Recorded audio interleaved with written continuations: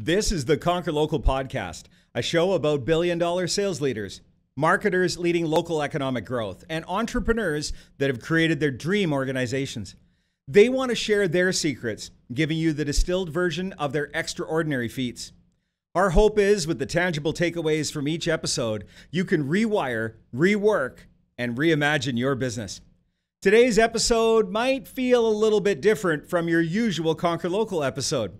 We had a live webinar recently, and we just felt we had to share all of the lessons in that webinar with you, our conquerors. I'm George Leith, and I'm proud to welcome to today's episode Corey Elliott from Borrell and Associates to discuss strategies to boost radio ad sales in 2023. Based in Williamsburg, Virginia, Corey is the executive vice president of local market intelligence for Borrell Associates. He is America's foremost authority on local advertising, and he leads Borrell's ongoing surveys of local marketers, the largest survey of small and medium businesses in the United States, as well as the company's expansive database of local advertising and marketing expenditures. He's the co host of the Local Marketing Trends podcast and host of his bi weekly video program, Corey's Local Marketing Minute, seen on YouTube. Prior to joining Borrell in 2014, he was the director of market intelligence at Gannett, and he holds a degree from Ohio University. Get ready, Conquerors, for this two part webinar series of Corey Elliott coming up next on this week's episode of the Conquer Local podcast. Uh, one of the notes that we had here was we talked about training, we talked about you know organizations and and their positioning in the market. What what is the glue? What is the glue? I have it in the notes that Corey's going to talk about the glue. what, what from your research do you feel is the glue? Well, here, here's here's the thing. I, I think marketing, and this is stuff we already know, but it's good to remind ourselves and go, oh yeah, um, marketing now is not advertising, right? Marketing is much more now nowadays, especially. And I, I use this analogy um, because we talk to all sizes of businesses, ones that just began, and, and that's a whole nother topic is how many businesses have sprung up in the last three years. It's amazing. Uh, but let's put that to the side. Imagine you start a business. You got a few employees. Here you go. You got to get your name out. What's the first thing you do? Where do you spend that first dollar? Is it going? I'll give you a choice. Is it going to be, and I'll even use radio. Is it going to be a radio ad? Hmm? Or a website? Oh, well, yeah, you got to have the website. Okay, great, great, great. So you got the website. Okay, next dollar. Is it going to be a newspaper ad or social media? Oh, crap. And you start to figure out that the first dollar is being spent to market, which back in when I was a young buck meant advertising um, goes to all of these other digital services, all these things I need now in this modern world. I got to have these things before I start to even think about spending a dollar on more traditional forms of advertising. Because, guys, that's the world we live in now. That's that's it. It's it's here. So uh, what's the the future we've always been talking about is here, right? Um, so those that's the glue. We talk about digital services. It's kind of the glue that puts all of these other things together. So when we talk about the continuum and the marketing uh the marketing funnel seo and blog management and opt-in list management and all that stuff is as equally important if not more sometimes than traditional advertising spots. So that's what we're talking about the glue no, and and thank you for for validating um, what we've been we've been talking about for years. Is you have this customer journey. The mm-hmm. customer mm-hmm. goes through the journey. That's what they do when they're making a purchase, and you need to have awareness. I'm not saying that you don't need advertising, but also in 30 no. some odd bloody years of selling ads, I know that it's episodic. We we run ad campaigns as business owners for reasons. Yeah. We run ad campaigns for reasons. We've got excess inventory that we need to move. We're not hitting our revenue targets. We need to generate more traffic. But, but it, that is episodic. It's not something that I run on a regular basis or pay for on a regular basis, much to the chagrin of old ad salespeople like me. But I need a foundation now to make those ads work better. Yeah, absolutely. Right? Like I have to have that foundational component. And there are things that I can own, uh, but it's hard. you know, it, yeah. it's never been easier to get a website out there. But if I'm a dentist I'm not a web developer. I'm not a graphic designer. I'm not a content writer. I drill people's teeth like my friend Jeff. And yeah. Jeff, really good at it. He's the guy that does my dentistry work, but I advise him on his marketing. And uh, he didn't have a clue about needing a website or needing his social media pro, like owning. Comp- By the way, components of these you can own. Advertising you rent. Uh, yeah. And then there's also items that you earn. And I go back to that old story of paid, earned, and owned media. It's never been more important. Now, for the broadcast executives on the phone right now, how does it work out selling ad inventory that you send all the money to Silicon Valley?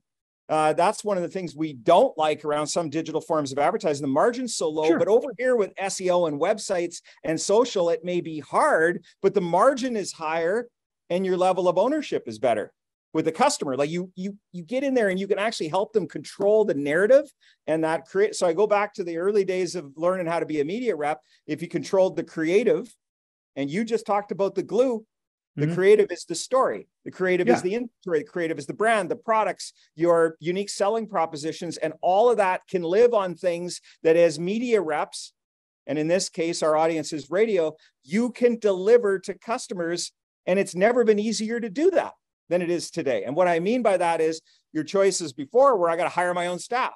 I got to have web developers. And no, you can partner with people who are best in the world at doing this. It's a really cool time.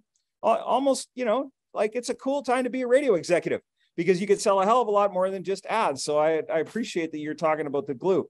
I was ranting there. I was on my soapbox again. Thanks for calling it out. Um, I want to talk about the R word. And I've been through enough economic downturns in all the time that I've been doing this that I don't even like to talk about it because right. I believe that it's a self fulfilling prophecy. Because in any economic downturn, there are still winners and losers.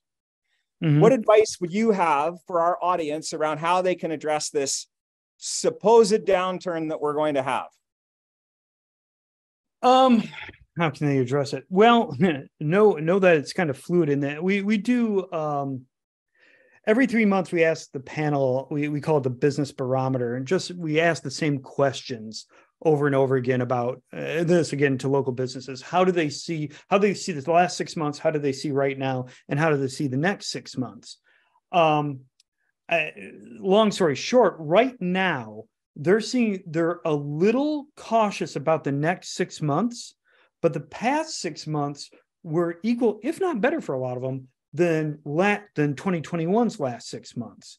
So they're a they're they're coming in a little bit better and a little bit cautious towards the holiday shopping season.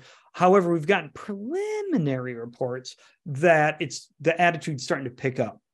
That whether it's the holiday spirit, that things, the pessimism is starting to go away. I think it has a lot to do with something very timely the midterms. People wanted to understand. It's as if people wanted to understand look, I, I want my outcome of the midterms, but moreover, I want the midterms to be done. I just, whatever we got, let's just go and there's that kind of sentiment on the on the business side of it too so i think the holiday season is going to be on it's certainly going to be on par with 21 i think it's going to probably beat 21 uh, despite despite the recession or the R word, as you say. Um, the attitude, I guess, long story short, the attitudes we're seeing from local businesses aren't overly cautious. They're sort of cautious, but not like, oh, there's a recession coming. I'm pulling everything. We don't see that. I had a business owner tell me the other day, and I'm not talking about a, a, media company. I'm talking about an actual business owner. We were we were talking to some folks at a seminar, and uh, they said, you know, I said, what what is your spend?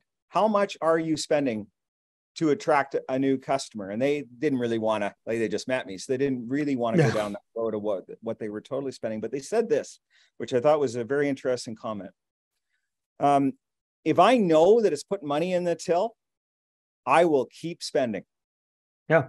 And I, then I asked him a question and I said, So, of all the dollars that you're spending, which you won't tell me the amount, I bet you all of them are effective.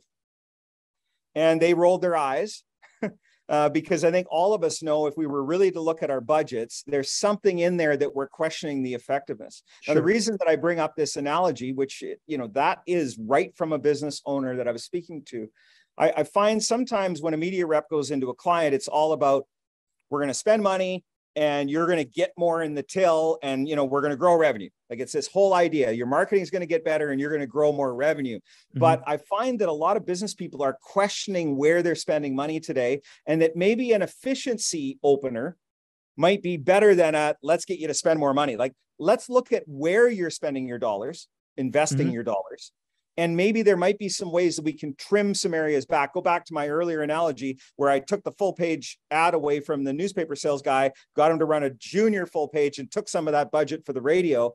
Um, I'm actually wondering if you're seeing this as well, that they're a little bit cautious. They're concerned about the dollars that they're spending. If you could show them a way to be more efficient, that might be a way to capture budget as well, rather than all about we're going to get you more revenue. Yeah, um, it's back to the Wanamaker thing, right? Uh, I know half my, you know, I, I know half my advertising doesn't work. I just don't know what half that whole that whole spiel. And yeah, there's when somebody's spending a lot of money on marketing, they're always going to question at least one thing. Uh, but you're exactly right. If one were to come in and say, well, first of all, we want to prove return on investment. You want it, I want it, we all want because if I can prove it, we both win, right? So let's establish what does that mean? What what would you consider a great campaign? Oh, more money in the till. Yeah, yeah, yeah, I get that. Are we talking about 5% more? Are we talking about year over year? What what are our parameters? Let's set that up and then let's work towards that. Um, and it kind of takes the it, it kind of takes the product by product. You know, I don't like I I don't think we should have a full page. I think we should have a half page.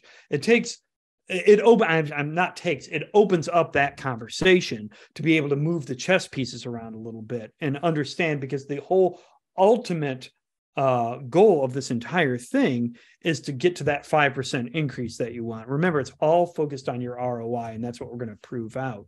Um, yeah and shifting things around absolutely. Again i go back to the fact that these local advertisers want somebody who has a lot more marketing savvy than than they do um, and, and I know a lot of people probably on the call would say, yeah, that's what an agency does. Well, yeah, that's what an agency should do. Uh, but not everybody's going to go with an agency. Not everybody can afford an agency. Uh, so that's an, uh, another opportunity for a local media rep. Listen, I love agencies, um, and and I think they're great. I also love media companies, and I find sometimes when I'm talking to a local client, they say to me, "I don't know who to trust." In fact, yeah. last week I had three customers at a seminar that said, Thank you for not selling to me in the one hour that you pontificated on stage. Thank you for bringing me data and real world analogies. Thank you for teaching me. I don't know who to trust. And they actually pointed at their media rep and said, I'll, I'll include them.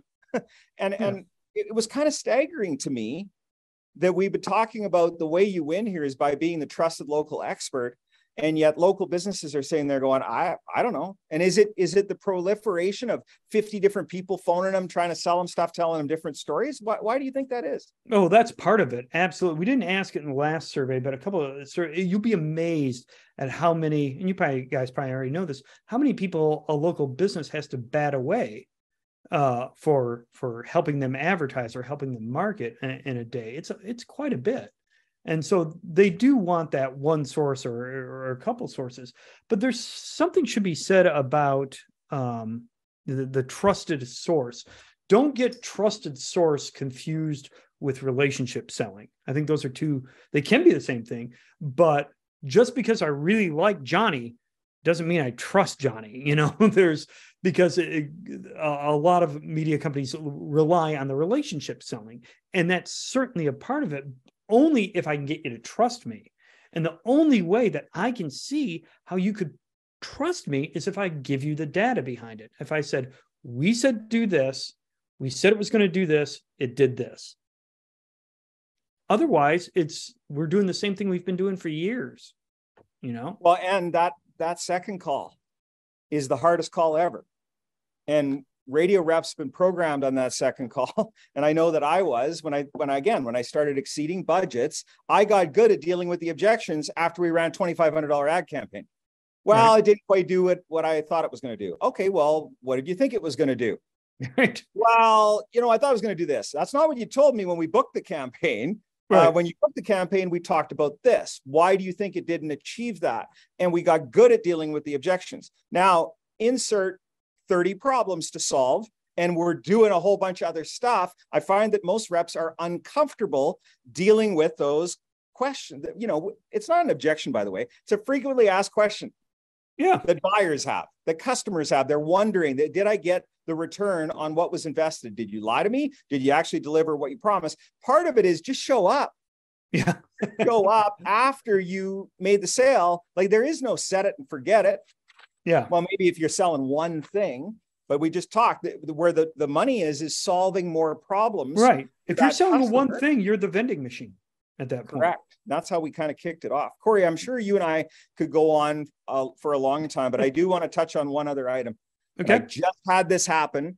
I was uh, launching a media company in the radio space in seven different markets, and we, we were ready to roll. CEO is like, we're rolling.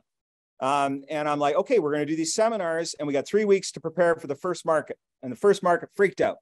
And they said, we don't have enough time. We got to get the invites out and everything else. And I'm like, actually, you know what? Most invites get get re- responded to in the last week, anyways. And you're going to have mm-hmm. to phone all the people to remind them to come. And you're never going to be ready. So let's just do it. And what happened in all seven markets was record turnout, meaning I usually see about 50 to 60% of the RSVPs turn up.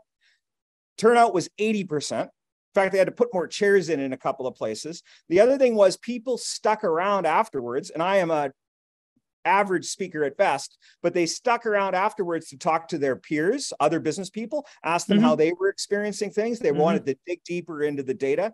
Like they were captivated because they want to learn and they want to understand what's going on. Yeah. But I don't think that those people show up if you and I phone and say, hey, George and Corey are going to do a webinar and a lunch and learn today. They showed up because of the local media company invited them and the brand yeah. of that local media company. And that local has never been more important than it is today. Correct me if I'm wrong. Again, you're wrong. No, uh, it, it is, and, we hear that in our panel too. Um, it's and it's interesting you bring that up. One of the reasons our SMB panel works and that it keeps going, we keep asking. We check in with them every year. Hey, do you want to do this? Do you want? What about the gift cards? Or you know, we ask them why they're part of this panel the number one reason wasn't for a stinking gift card. It really wasn't. They get like 25, 50 bucks randomly drawn every now and then. It is, I want to learn from my peers. I, I, I want to see what other people are doing and what their thoughts are. So, anytime, so that's one. The second thing is local, local, local. And George, I know you know this. If we had a dollar for every time we went to a market and somebody in the market said, well, our market's different we, we'd be retired. We'd be rich, rich people. Now that's kind of snarky, but what it means is the perceived, yeah, that's a rough word, the importance of the local market.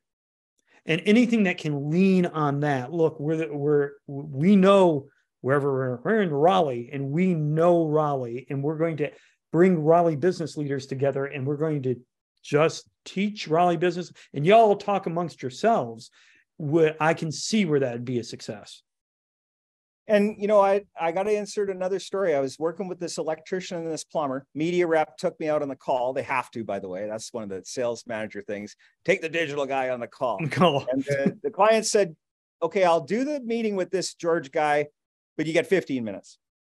Okay. And uh, basically, I was earning more time, mm-hmm. 15 minutes at a time. We ended the conversation after 90 minutes. Ah, the customer good. went through a roller coaster of emotions. There were all sorts of colorful words that were used. And what the, the moral to the story was he was spending about six figures with the local media company, but he was spending double that with a company that was faceless to him. It was just a toll free number and a brand. And when I asked him who his customer service rep was, he said, oh, I don't know. They change it all the time. It's basically whoever I get on the support line, but they were spending double the money with a faceless brand online. And the reason the conversation went on for 90 minutes mm-hmm. and it was a roller coaster of emotions, and most of it was not positive, was because they knew that it wasn't working and they were being lied to and they were maybe locked in or whatever. I think the guy did say a couple times that I know I've got to do something.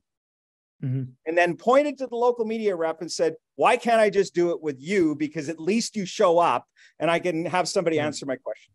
Yeah, that and, and that's it. See, even there, they want somebody to lean on for the entire thing for the media. I, I don't think, yeah, if there would be a lot happier happier? They would be a lot happier spending that money with that faceless corporation if the guy i trust said it was the right thing to do and they were the local player then that's fine. As long as long as my roi whatever i determine that to be has been fulfilled. Um so yeah i could see that happening as well. And local and nobody has kind of the local foothold I, I mean, radio is sitting on on being local, right? And, and having the celebrity status. Newspaper doesn't have a celebrity status in a local market. TV, yeah, maybe the anchors. That's about it. But radio certainly has uh, a, a, deep hook into a local market, and that that could be leveraged. Certainly. By, by the way, they know how to throw an event.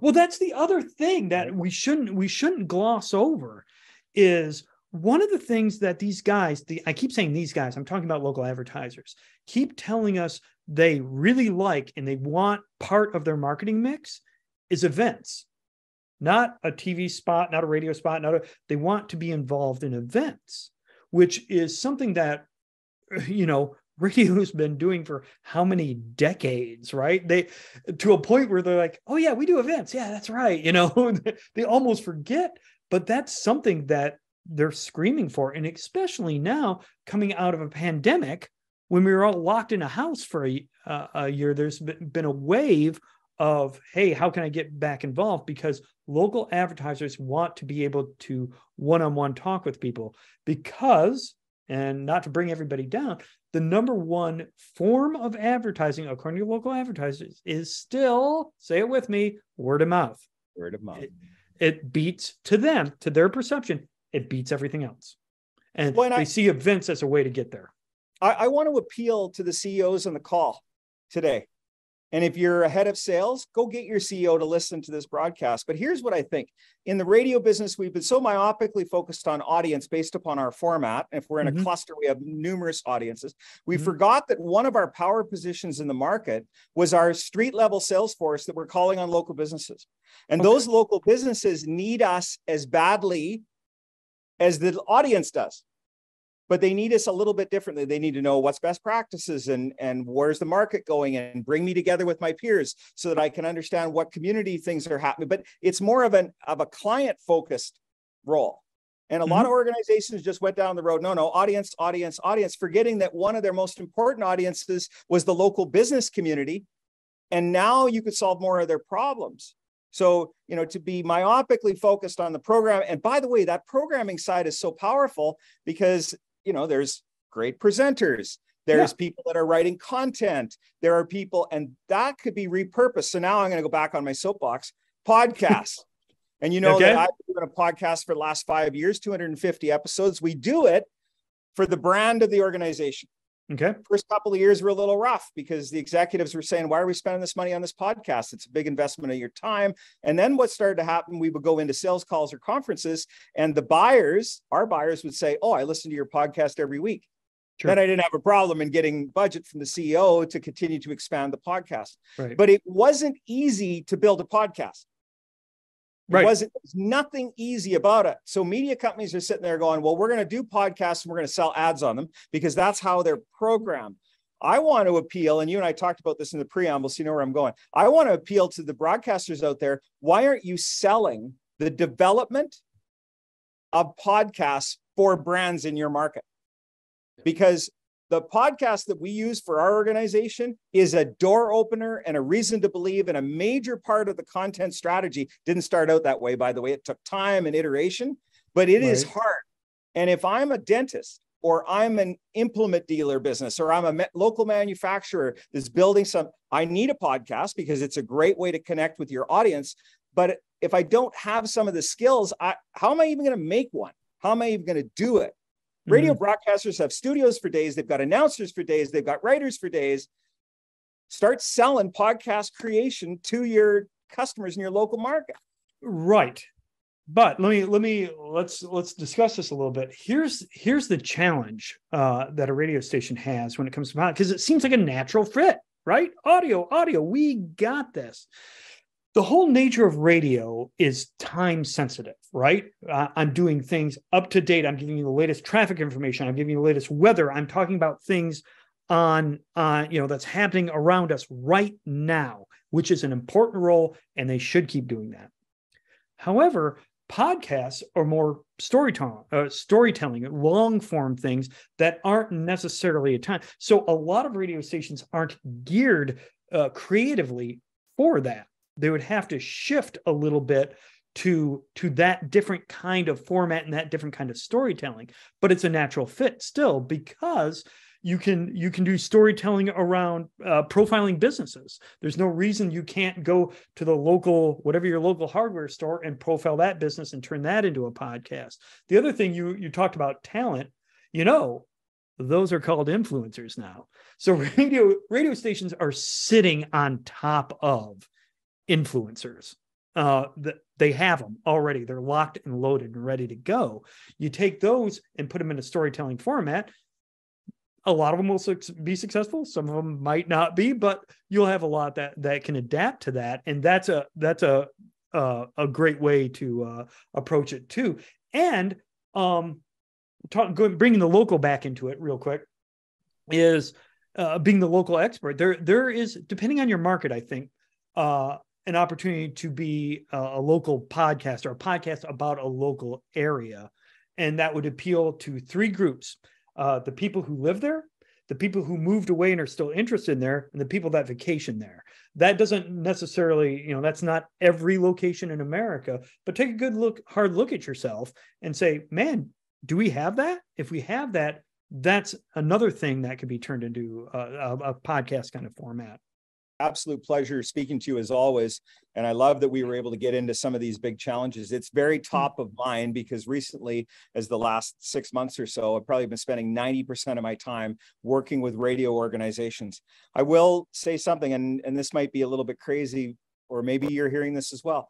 I'm spending more time with the CFOs of these organizations than I am with the head of sales because we are diving deep into the unit economics, trying to figure out why there isn't more margin trying to hmm. figure out where there's efficiencies in the organization. And the CFOs are taking a hard look. And I, I had one the other day say, yeah, I don't care that we're doing 8 million in digital revenue when it costs us nine right, to get it. Right, right, right. And and part of that is is there's a hell of a lot more problems that we can get paid to solve than just selling ads.